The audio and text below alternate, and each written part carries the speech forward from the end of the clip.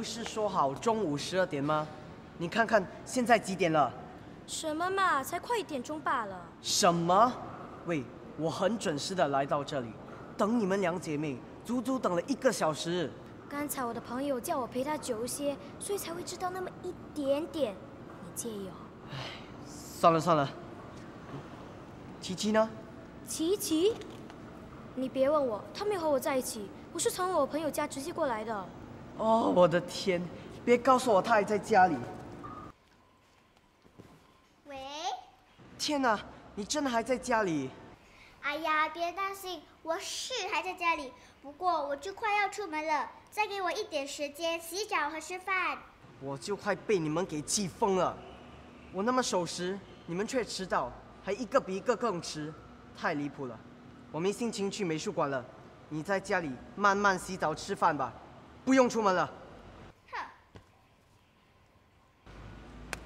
喂，真的不去了？不去了。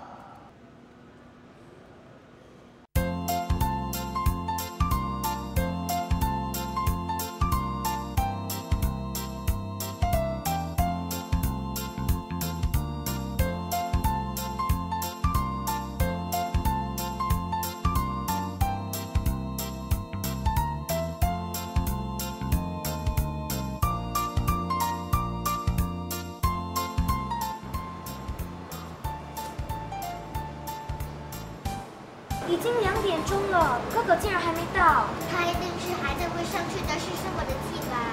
不会吧？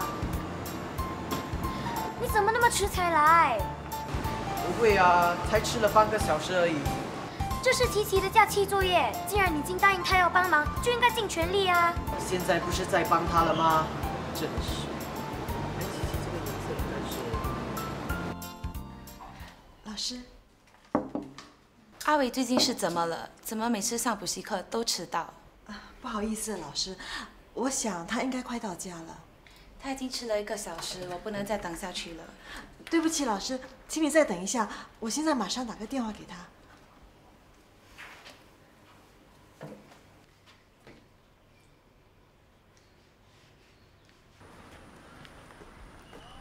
喂，阿伟，我是姑姑啊。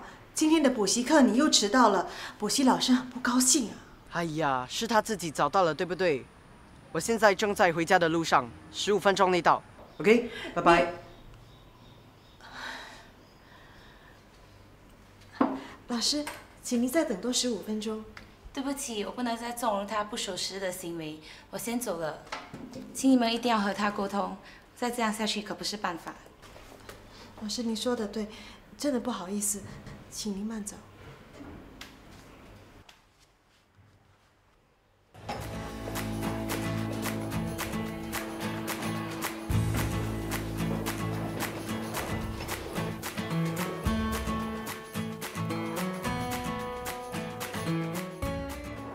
哇，你看现在几点了，哥哥还没到哎。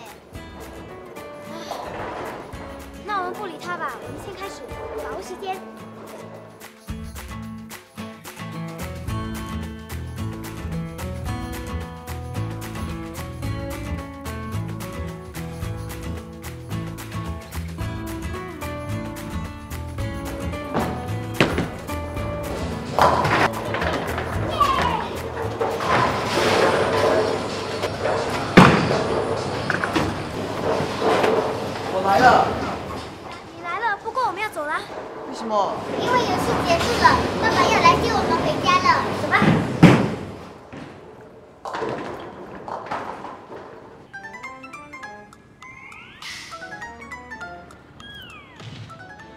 完了完了，圣诞老人分礼物活动结束了，没办法拿到那个神秘礼物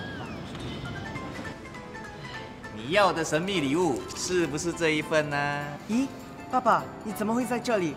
为什么你会有这份神秘礼物？哎，阿伟，爸爸知道你非常渴望得到这份礼物，不过爸爸也很清楚，以你不守时的坏习惯，你没有办法得到它。所以你才帮我。其实比起这份礼物呢，爸爸更在意的是你的品行。迟到是一种很不礼貌的行为，你不但浪费自己的时间，也耽误了别人可能一早已经安排好的生活行程，知道吗？哦，可是依英和琪琪他们也不守时啊。我守时，但别人都不领情，也不在乎，那我干嘛还要守时啊？是，英英和琪琪也做错了，不过爸爸已经劝过他们了。哪伟，别人怎么想我们没有办法控制，可是不管怎么样，我们应该先做好自己的本分，知道吗？哦，爸爸知道你是个好孩子、好哥哥。那从这一刻开始，我们一起做一个守时、守信用的人，好不好？好，那谢谢爸爸。